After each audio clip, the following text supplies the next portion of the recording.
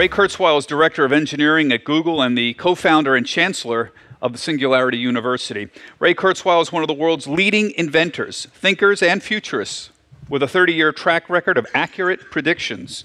Called the Restless Genius by the Wall Street Journal and the Ultimate Thinking Machine by Forbes magazine, Ray was selected as one of the top entrepreneurs by Inc. magazine, which described him as the rightful heir to Thomas Edison. PBS selected him as one of the 16 revolutionaries who made America. Ray was the principal inventor of the first CCD flatbed scanner, the first OmniFont optical character recognition program, the first print to speech reading machine for the blind, the first text to speech synth- synthesizer, the first music synthesizer capable of recreating the grand piano and other orchestral instruments, and the first commercially marketed large vocabulary speech recognition. Among his many honors, Ray received the 2015 Technical Grammy Award for outstanding achievements in the field of music technology. He's the recipient of the National Medal of Technology, was inducted into the National Inventors Hall of Fame, holds 21 honorary doctorates, and honors from three U.S. presidents. Ray has written five national best selling books, including New York Times bestsellers The Singularity is Near in 2005 and How to Create a Mind in 2012. He's co founder and chancellor of the Singularity University and a director of engineering at Google, heading up a team developing machine intelligence and natural language understanding. Here he is, Ray Kurzweil. Ray. Oh, Ray. Oh, Ray. Oh, Ray. Oh, here he is. Hello, Ray. How are you? Great. Good to see you, Bob. Always a pleasure to see you. Can you update us a little bit uh, on where we are on the law of accelerating returns? We always look forward to some uh, your annual update on where we are in the charts and uh, how how right you've been. Well, I'm actually writing a book. Uh, the singularity is nearer. It's been ten years.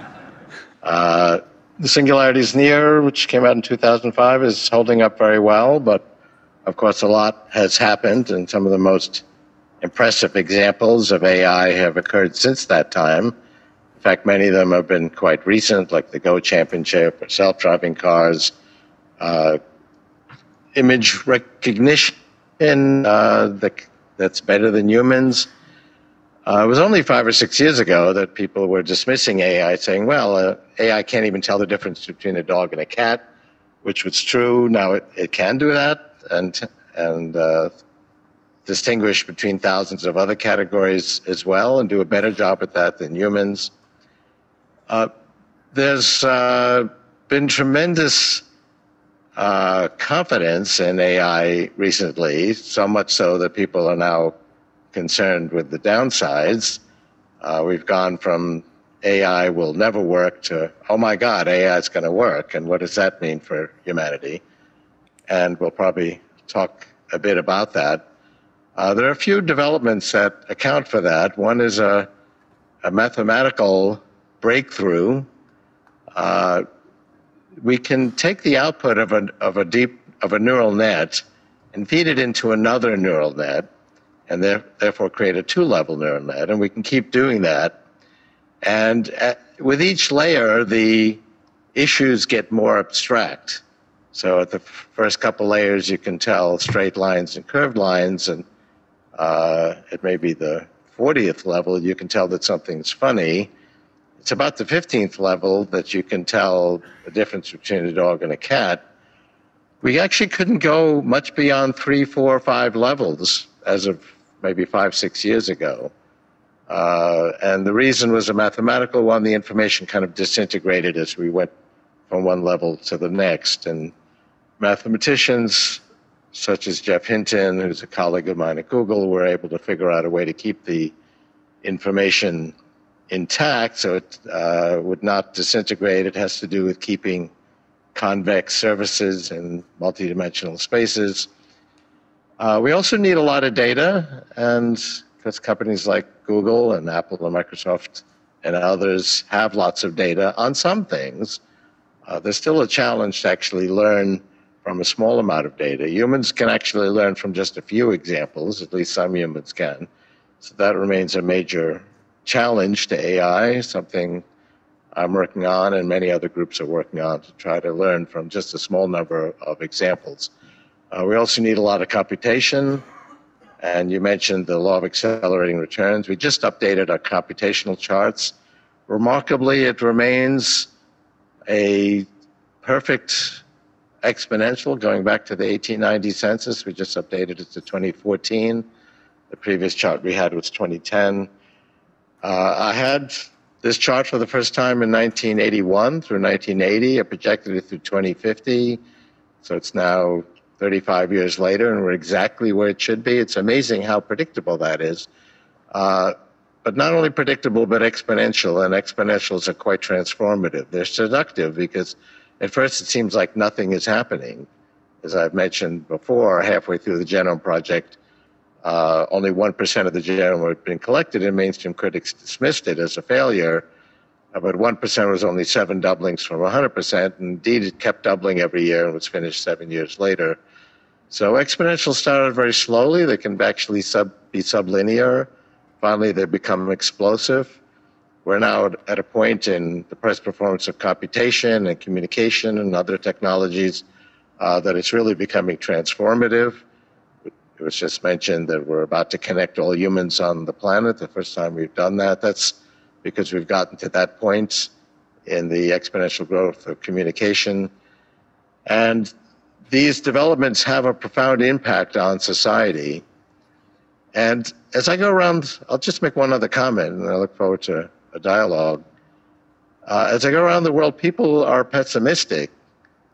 You know, we see evidence of that in the election debates, for example. People think things are getting worse, despite all evidence to the contrary. What's actually happening is our information about what's wrong with the world, like, for example, about violence or poverty or environmental degradation, is getting exponentially better.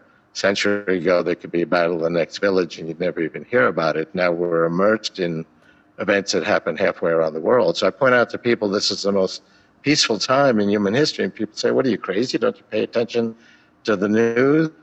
Uh, well, your chance of being killed is dramatically less than it was centuries ago when there was dire scarcity of resources. There was no democracies. I mean, we, you could count the number of democracies on the fingers of one hand a century ago.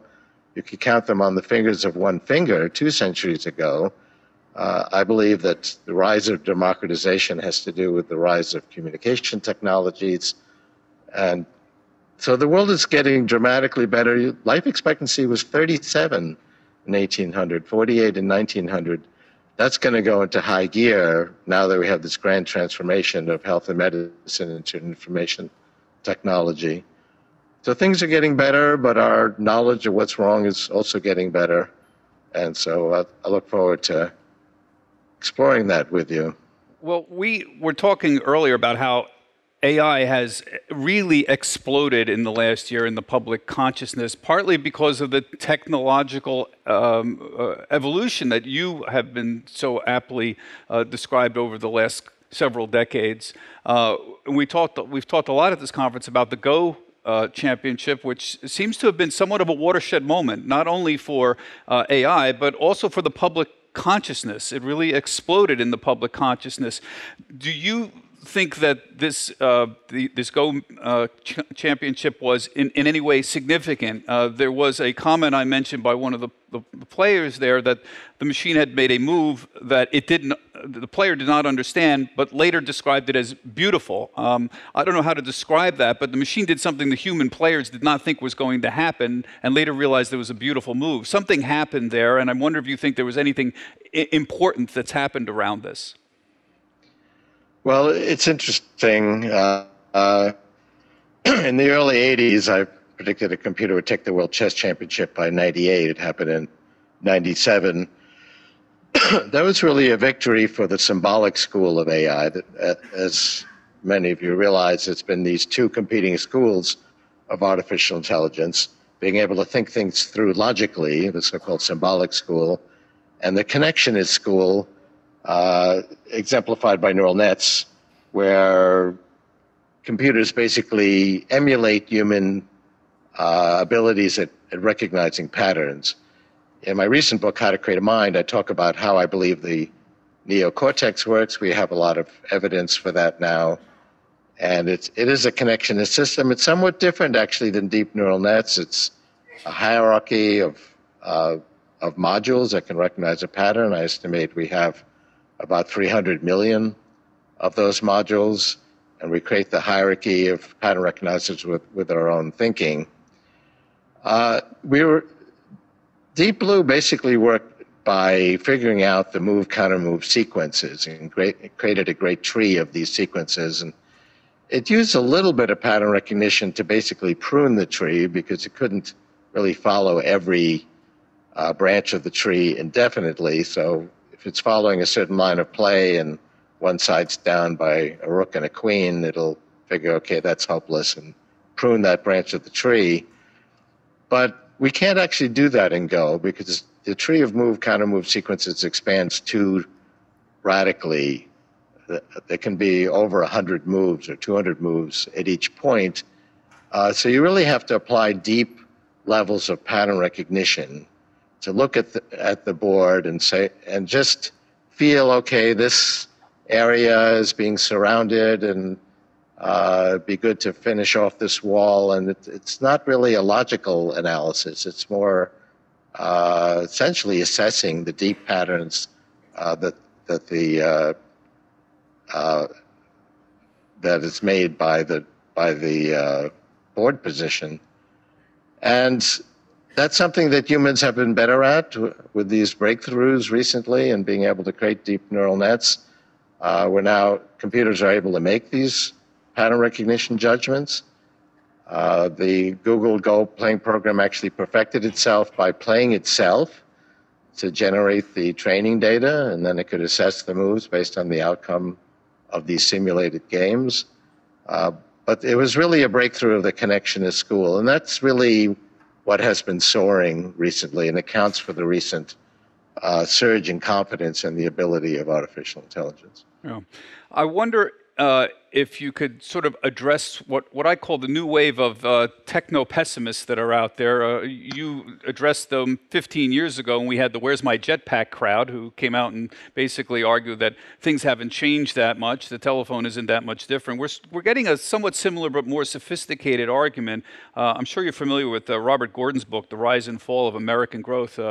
Uh, Gordon is a very respected professor at Northwestern University on the history of, of technology, and his book's rather long, but he, he talks about the great innovations in the Industrial Revolution, uh, about electricity and central heating, uh, and the internal combustion engine, indoor plumbing, and vaccinations, uh, and argues that since 1970, uh, there's been the innovations since 1970 have been less transformative than the Industrial Revolution, and they don't have the same potential to create growth in the future as we do in the past. Can you address that? It seems remarkable that somebody would make a prediction like that, particularly given one, we don't know what the future will look like, but number two, we have an inkling with things like robotics, genomics, machine intelligence, artificial learning. Can you address this sort of new wave of techno pessimism that's out there? Well, it's remarkable how people can make arguments in the face of all reason. Uh, I mean, since 1970, we've seen the rise of the internet, for example. It's certainly been profoundly transformative in terms of human communications. We've seen the rise of computers and AI and robotics, uh, and we're seeing machines do things that previously were the province of humans, like uh, driving a car, for example. Uh, it's absurd to say that these are not transformative changes, uh, tying together all the humans in, in, the communications web, which was just alluded to before I came on, is, is a profound transformation in, in human society. Uh, but you can always argue that nothing has happened. Uh, certainly, as long as machines, there's anything, for example, that AI can't do, people will point that out as uh, a profound limitation that'll never be surpassed uh, I have a cartoon with a furtive human race writing out signs and uh, posting them on the wall of things that computers will never be able to do. But you then see a whole pile of them pile on the floor uh, that are no, no longer true, like uh, computers will never be able to drive a car, computers will never be able to tell the difference between a dog and a cat, computers will never play a master game of Go, and so on. Uh, we're now seeing computers creating art and music, and uh, ultimately, there's no limit, in my view, to what machines will be able to do. But I would point out that this is not an alien invasion of intelligent machines from Mars to compete with us and displace us. Uh, we have always used our machines to extend our own reach, our physical reach, uh, created machines that leverage our muscles. You know, certainly unaided human muscles couldn't create skyscrapers. Uh, we now can access all of human knowledge with a few keystrokes. How many people could do their work without the brain extenders we already have? And these will become more and more profound and more and more intimately connected to us.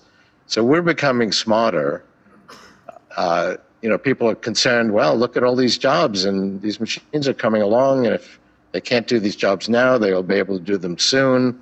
Well, we've already done that. I mean, how many jobs circa 1900 exist today? And the political difficulty is, you know, if I were a prescient futurist in 1900, I'd, I'd say, okay, two thirds of you work on farms and factories, and that's going to be 4% by the year 2015. And people go, oh my God, it'll be out of work. And, uh, and I'd say, well, don't worry, we'll, we're going to create new jobs that will replace these old jobs. And people then say, okay, what new jobs?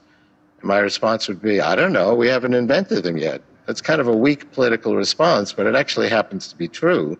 65% of the jobs today in America are information jobs that didn't exist 25 years ago, let alone 100 years ago.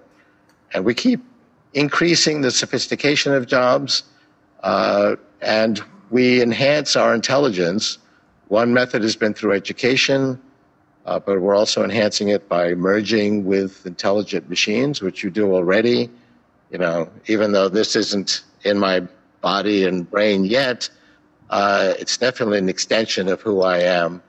Uh, and ultimately, we will put these directly in our brain. We'll connect our brains to the neocortex and extend the very nature of our intelligence.